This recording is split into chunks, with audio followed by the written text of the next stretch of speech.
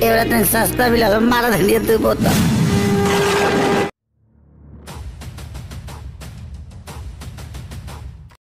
दोस्तों, Bhojpuri film industry में इन दिनों निर्देशक पराग पाटिल और हिट मशीन खेसारी लाल यादव का जलवा खूब देखने को मिल रहा है। अभी हाल ही में इनकी फ़िल्म संघर्ष टू ने बॉक्स ऑफ़िस पर ज़बरदस्त सफलता हासिल की थी और अब वे नई फ़िल्म राजा राम लेकर आ रहे हैं।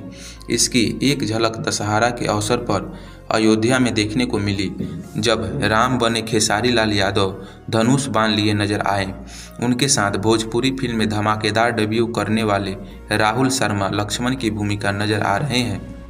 साथ में माँ जानकी भी थी और सभी रथ पर सवार हो निकले थे। यह एक विहंगम दृश्य था, जिसे देखकर दर्शक भी भावविहील हो रहे थे।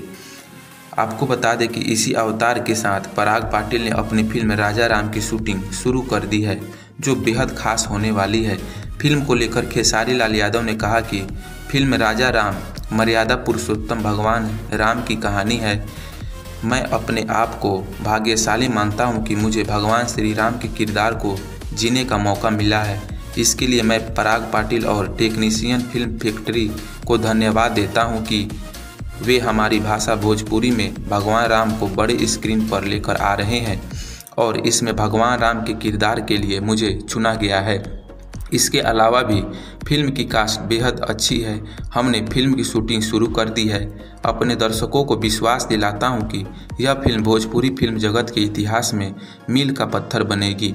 वहीं फ़िल्म को लेकर पराग पाटिल ने कहा कि फ़िल्म खास है, इसके लिए मेकिंग भी खास होगी और इसकी शुरुआत हो चुकी है। उम्मीद है कि फ़िल्म सबों को पसंद आएगी।